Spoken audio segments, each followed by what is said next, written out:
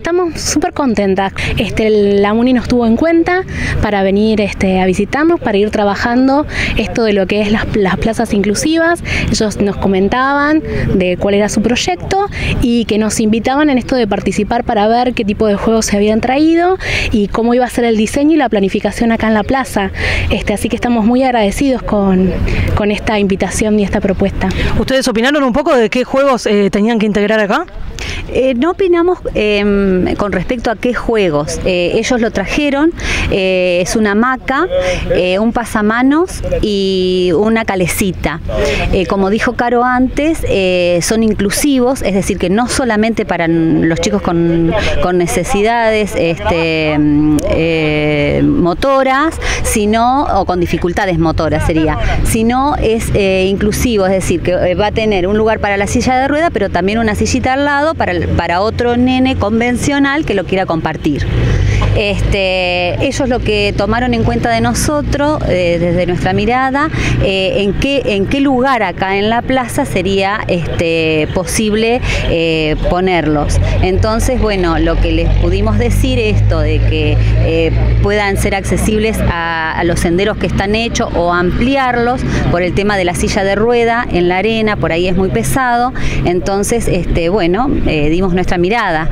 Por eso les agradecemos que, de habernos tenido en cuenta. ¿Qué significa para vos que haya estos proyectos inclusivos? Y es muy importante, es muy importante la inclusión en la comunidad y más en los chicos. Es muy importante que puedan eh, incluirse, ¿no?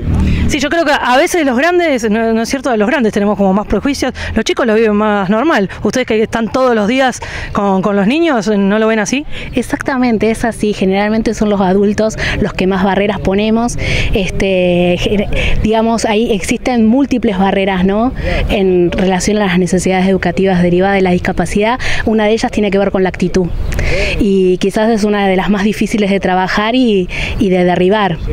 Y esto nos pareció, vuelvo a repetir, muy interesante porque habla de una municipalidad comprometida con la inclusión, con este nuevo paradigma que se trabaja hoy a nivel mundial, que tiene que ver con que no es lo mismo la integración, no son juegos integradores sino inclusivos, o sea, no es un juego que es para un niño o una persona, un joven, un adulto con necesidades educativas derivadas de la discapacidad, sino que son juegos inclusivos. Yo me puedo sentar a compartir con otro que no tiene mis dificultades. No pensemos solamente en las personas que tienen una discapacidad motora, este, porque no pueden trasladarse más que en silla de ruedas, pensemos en, los que tienen bispedestador, en las personas grandes, en las personas chicas, así que que tengan esta política, porque en realidad es eso, ¿no? tengan esta política de pensar en la inclusión y habla muy bien y nos pone muy contentos, porque además sabemos que esto ha sido un pedido de los vecinos y entonces que también puedan hacer eco y oído de, los vecinos de la comunidad es muy importante. ¿Se lo han comentado a los chicos? ¿Saben algo?